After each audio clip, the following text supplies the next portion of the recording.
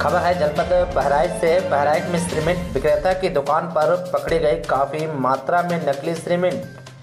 वहीं पुलिस ने मौके पर जाकर देखा तो दुकान पर नकली सीमेंट की बोरियाँ थी।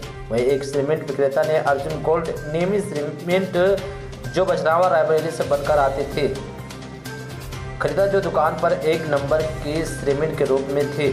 ठीक इसके विपरीत दुकानदार ने दूसरे सीमेंट भी इसी नाम की जमा कर रखी थी। जो नकली है, उस पर भी अर्जुन गोल्ड बोरियाँ पर प्रिंट था। ट्रेडमार्क कुछ भिन्न विभिन्न था और उन सीमेंटों की बोरिया पर कहीं यहाँ छपा दिखाई नहीं दिया था, जिससे स्पष्ट न हो सका कि ये कहाँ बनती है। वहीं मौके पर जब पुलिस ने नकली सीमेंट बरामद की तो सीमेंट विक्रेता दुकान पर नहीं था और वहाँ भारी मात्रा में नकली सीमेंट स्टॉक दुकान पे मौजूद था।